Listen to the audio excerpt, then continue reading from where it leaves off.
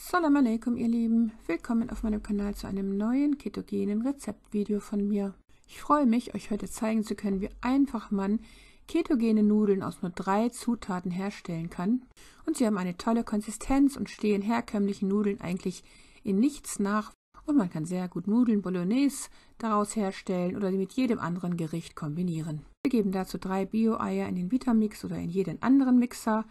Dann kommen 50 Gramm Bio-Speisequark hinzu und die dritte Zutat besteht aus 10 Gramm Bambusfasern. So könnte man diese auch mit Mandelmehl oder mit Kartoffelfasern ersetzen, aber ich kenne kein anderes Mehl, das mit 0,1 Gramm Kohlenhydraten pro 100 Gramm aufwarten kann. Optional könnte man dann noch mit Himalaya-Salz salzen, etwas Knoblauchpulver hinzugeben und eventuell noch etwas Kurkuma für die gelbe Farbe. Nachdem alles durchpüriert wurde, geben wir dann diese Mischung auf ein Backblech, welches mit Backpapier ausgelegt wurde. Allerdings halte ich das nicht für eine sehr gute Lösung, weil das Backpapier eben durch die Flüssigkeit ganz wellig wird und der Teig hinterher dann sehr dünn wird, wie wir hier gleich sehen werden, und dieser dann sehr viel schwerer zu verarbeiten sein wird hinterher. Deshalb möchte ich empfehlen, dass ihr eine Silikon-Backmatte dafür verwendet. Die werde ich durch eine Pinnwand verlinken und das werde ich euch gleich im zweiten Versuch zeigen, wie die aussieht und wie es damit funktioniert.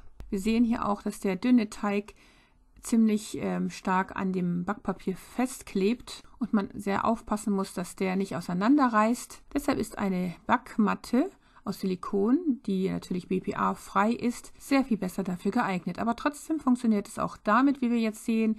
Wir rollen dann einfach diese Stücke auf und schneiden die dann so in dünne Nudeln. Und schon haben wir unsere fertige Nudeln, wie wir jetzt sehen. Das ist eigentlich wirklich einfach, das Ganze. Aber wie gesagt, eine Silikonmatte ist dann doch eben besser dafür geeignet. Aber die Nudeln schmecken köstlich, sehr neutral und man kann sie wirklich mit jeder Art von Eintopfgericht kombinieren. Ob das nun Nudel Bolognese sind, wie hier in meinem Fall. Ich meine Bolognese-Soße zubereite, das Video dazu kann ich euch hier oben gerne verlinken. Wir können dann noch mit äh, Parmesankäse dekorieren und mit einigen Kräutern. Aber wie gesagt, kann man die Nudeln eben mit jedem anderen Gericht auch kombinieren und wir können endlich auf ungesunde, herkömmliche, kohlenhydratreiche Nudeln verzichten. Hier in meinem zweiten Versuch habe ich einfach die doppelte Portion hergestellt, also 6 Eier, 100 Gramm Bio Speisequark und 20 Gramm von den Bambusfasern.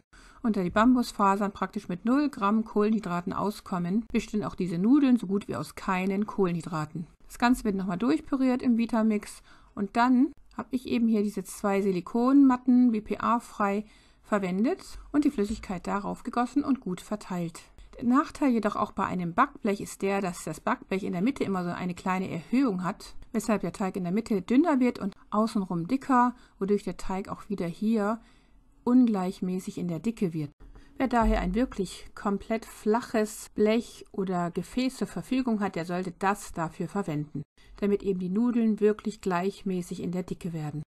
Aber wir sehen hier trotzdem, dass natürlich die Silikonmatte sehr viel besser geeignet ist, weil der Teig darauf überhaupt nicht kleben bleibt und man ihn sehr viel besser verarbeiten kann hinterher. Auch hier rollen wir wieder den Teig auf und schneiden ihn in relativ dünne Scheiben, sodass wir am Ende wieder die tollen Nudeln erhalten. Hier sind die Nudeln teilweise eben sehr viel dicker als vorher, wie wir jetzt hier sehen, weil das Backblech eben in der Mitte diese Erhöhung hat. Aber wie dem auch sei, dem neutralen Nudelgeschmack und im Aussehen hat es auch keinen großen Abbruch getan.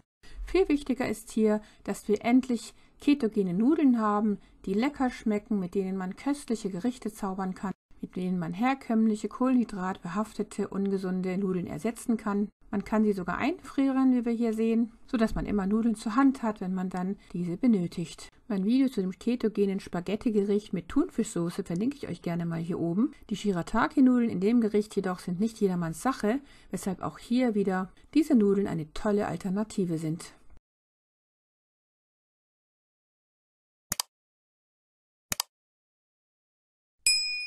Liebste Grüße, Salam alaikum, eure Mariam.